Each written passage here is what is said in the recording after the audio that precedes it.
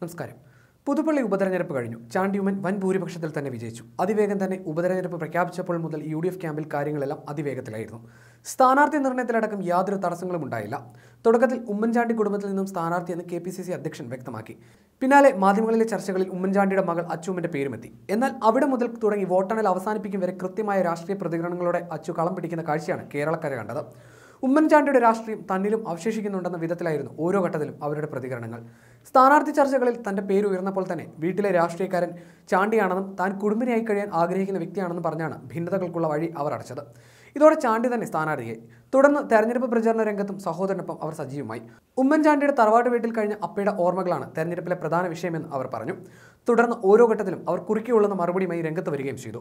മുഖ്യമന്ത്രി പിണറായി വിജയന്റെ മകൾക്ക് നേരെ മാസപ്പടി ആരോപണം ഉയർന്നതോടെ അച്ചുവിനെതിരെ നുണപ്രചരണവുമായി സൈബർ സഖാക്കളും രംഗത്ത് വന്നിരുന്നു.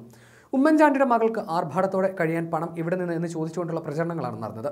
ഇതിനായി അച്ചു തന്നെ കണ്ടന്റ് പ്രൊമോഷന്റെ ഭാഗമായി ഇൻസ്റ്റാഗ്രാമിൽ പോസ്റ്റ് ചെയ്ത ചിത്രങ്ങൾ ഉയർത്തിക്കൊണ്ടാണ് പ്രചരണം നടന്നതും. ഈ നുണപ്രചരണം പൊളിച്ചുകൊണ്ട് അച്ചു മാധ്യമങ്ങൾക്ക് മുന്നിലെത്തി കുറിക്കുള്ളെന്ന് മറുപടിയും നൽകി. തന്റെ ഭർത്താവിന്റെ സാമ്പത്തിക സ്ഥിതി അടക്കം വിശദീകരിച്ചുകൊണ്ടായിരുന്നു അച്ചു ചോദ്യങ്ങളെ അനായാസം നേരിട്ടത്. തന്റെ പിതാവിനെ വേട്ടയാടിയതുപോലെ തന്നെയും വേട്ടയാടുന്നുവെന്നാണ് അച്ചു പറഞ്ഞത്.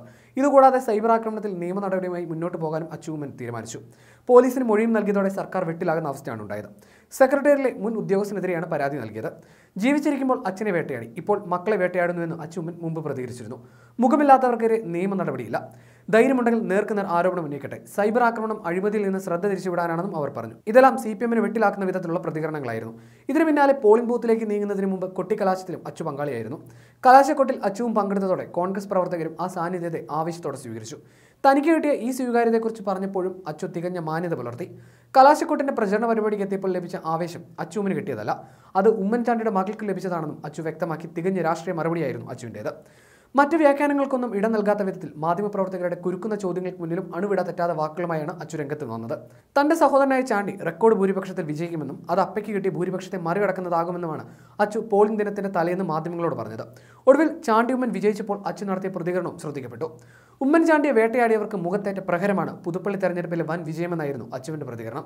ഉമ്മൻചാണ്ടി പിന്നിൽ നിന്ന് നയിച്ച തെരഞ്ഞെടുപ്പായിരുന്നു ഇത്. അദ്ദേഹത്തിന് നൽകിയ യാത്രാമൊഴിയേക്കാൾ വലിയ ബഹുമതിയാണ് പുതുപ്പള്ളി ഇന്ന് ഉമ്മൻചാണ്ടിക്ക് നൽകിയിരിക്കുന്നത്.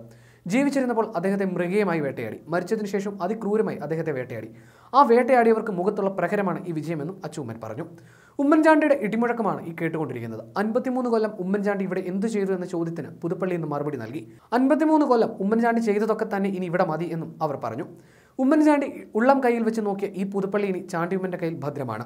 ഈ സമാനതകളില്ലാത്ത ഈ വലിയ വിജയം സമ്മാനിച്ച ഓരോ വ്യക്തിയോടും നന്ദി പറയുകയാണെന്നും അച്ചൂമ്മൻ പറഞ്ഞു. കഴിഞ്ഞ ഒരു മാസത്തിലേറെയായി തികഞ്ഞ രാഷ്ട്രീയ പ്രതികരണങ്ങളുമായി രംഗത്തുണ്ടായിരുന്ന അച്ചുവിനെ കോൺഗ്രസ് രാഷ്ട്രീയത്തിൽ സജീവമാക്കണമെന്ന ആഗ്രഹം ചില നേതാക്കൾക്കുണ്ട് താനും. ലോക്സഭയിൽ അച്ചുവിനെ സ്ഥാനാർത്ഥിയാക്കിയാൽ അനായാസം കോട്ടയം പിടിക്കാമെന്ന വികാരം ചിലർക്കുണ്ട്. എന്നാൽ അതിന് സാധിക്കണമെങ്കിൽ അച്ചുമ്മൻ തന്നെ സമ്മതം അറിയിക്കണം.